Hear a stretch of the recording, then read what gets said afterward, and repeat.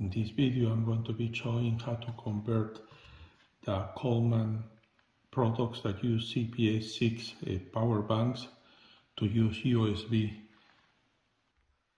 to use USB to power the devices. Uh, Coleman has decided to discontinue its CPX batteries and uh, rechargeable battery packs, leaving the owners with unusable products when, when these batteries uh, fail. There are two types of batteries. One is the uh,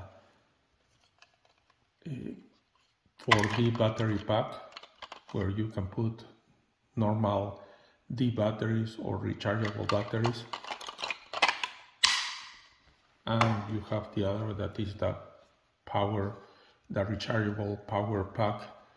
Uh, this one is very unreliable uh, because uh, it fails to charge within a year or so. And the reason is because it uses a sealed lead acid rechargeable battery that doesn't have a long life. And the symptom is that when you begin to charge it, uh, the LED light uh, will turn green. Even though it doesn't have charge, it turns green and is unusable.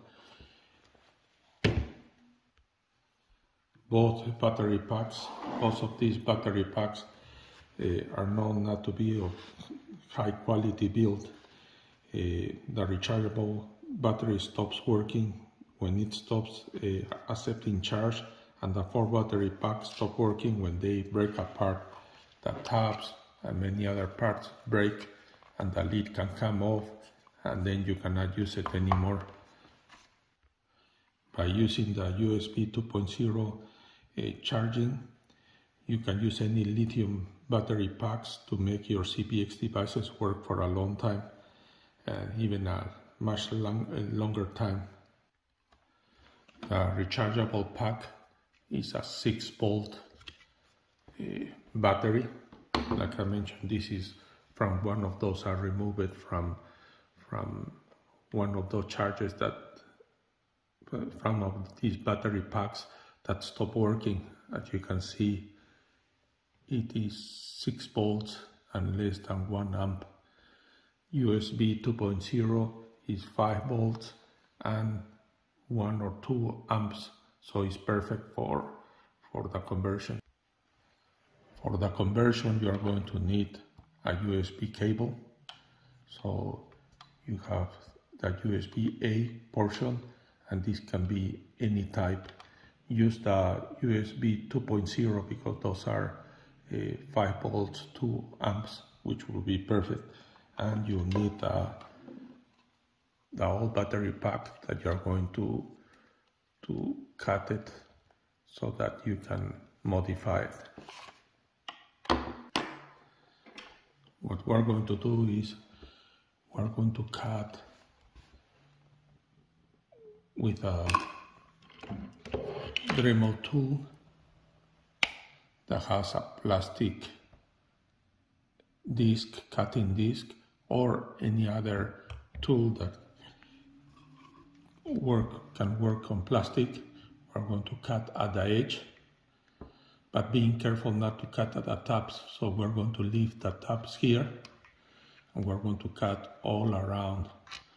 And we're going to cut at this point, we're going to cut all this top so that we can remove the battery. Um, you need to do this Eh, because there's a circuit here that is screwed to to this side and then the battery is he is uh, connections are here. Uh, you cannot take the batteries out from this side so you need to to cut it here as mentioned all around here here but leaving this top so that you have the holders and it can it will still uh, lock into the Coleman device.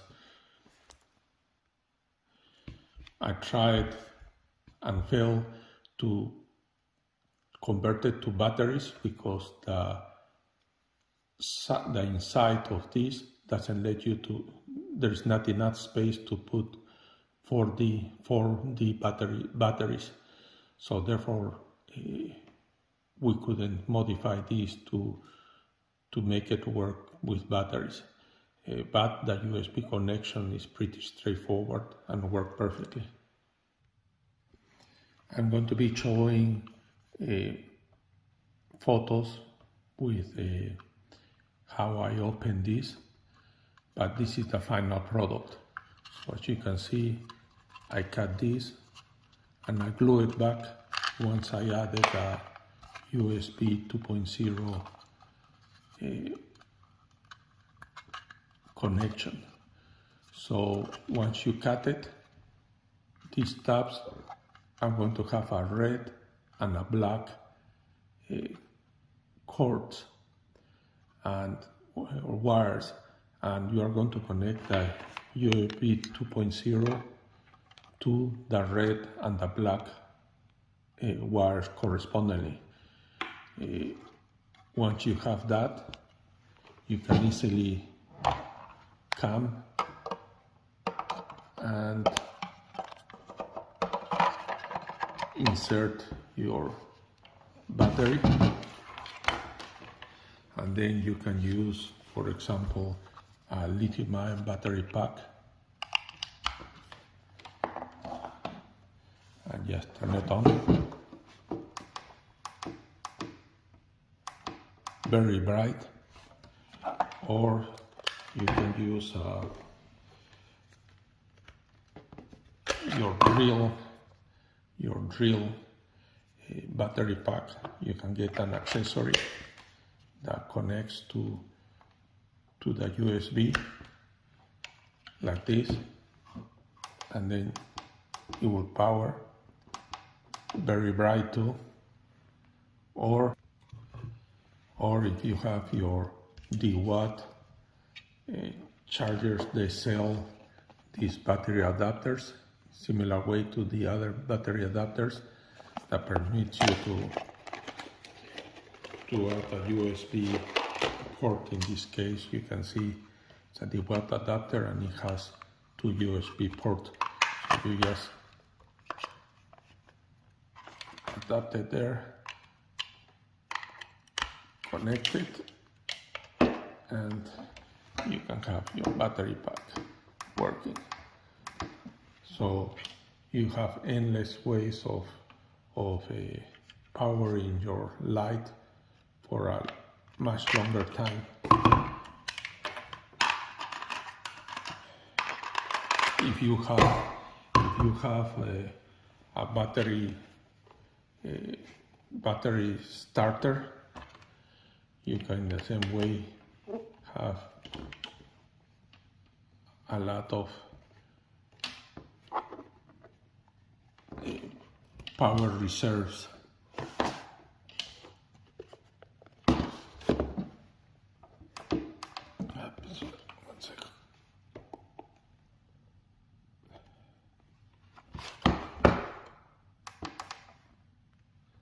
So you can use this battery,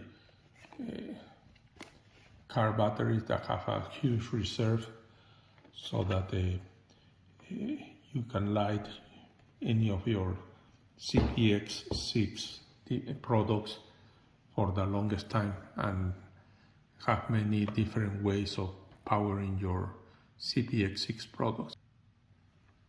So to start with, I'm going to show you how to how to uh, cut the USB the USB cord. What you do is you just cut the connection and remove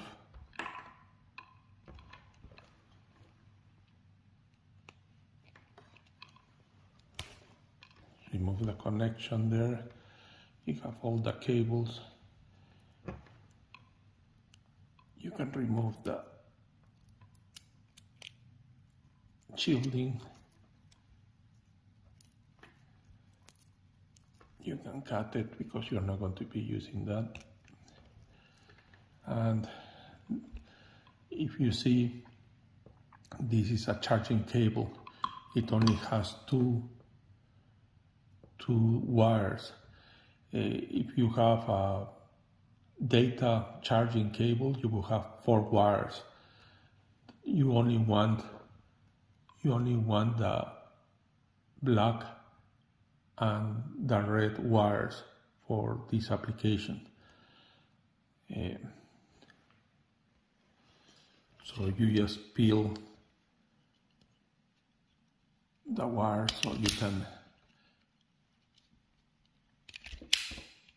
you can uh, connect it to your to your CPX box. Once you have cut the wires, you can connect it to you can connect it to the you can connect it to the two wires that come out from here. There is the red wire and the black wire and I'll be showing photographs and that's what you want to to use again once you have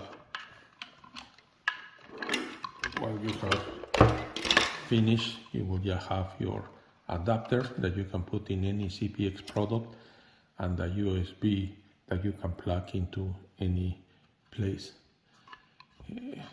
For this one, I can just put it there. I can use my DeWalt uh, battery. I can turn it on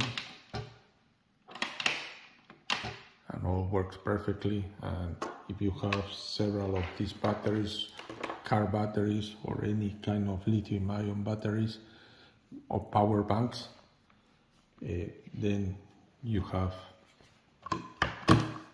large amount of possibilities on how to charge your CPX products. Here again, this is a small battery bank for computers. You can power your devices. I found that this way was very useful even though you couldn't insert this inside. I guess you could, but it would involve a lot uh, more work to put rechargeable batteries and then uh, being able to charge it. This is pretty straightforward and it will allow you to use your USB devices with many other power uh, banks, USB power banks. Again, it's USB 2.0, which is a 5 volt, uh, less than 2 amp uh, power, since these devices use less than 1 amp. Uh, hope this will help somebody. Again, as a disclaimer, this is a hack. I just did it. I'm not responsible for any of your own uh, work or connections or devices. It worked pretty good for me, and uh, I'm very happy to have a, a CPX USB based that I can put on any CPX 6 uh, product and make it work flawlessly. Thanks.